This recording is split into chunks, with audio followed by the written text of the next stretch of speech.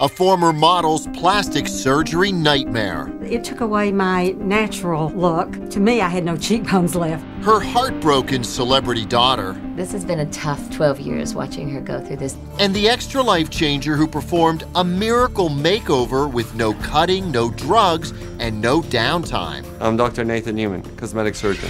Pioneer of the non surgical stem cell lift, Dr. Newman, the only man Marla Maples trusted to repair the damage done to her mother Anne during a facelift 12 years ago. Anne's face has unevenness, indentations, and some scarring in those areas. Using Anne's own stem cells taken from fat in her thighs, Dr. Newman plumped up her hollow cheeks and smoothed out her uneven skin with a series of tiny injections. The stem cells incorporate into the tissues and they become part of your tissues and they will age with you so it can last for 5 to 10 years plus. Halfway through the procedure, already dramatic improvement. Smile for us. You can tell that the bump is not there anymore. It's no longer creating that dent. Fast forward three weeks later, you won't believe what the former Atlanta model looks like now. I look more like I did before the surgical facelift. You know what? I think we're back to how we were when I was 16 and she was 40. She can look in the mirror and go, wow, my cheekbones are back.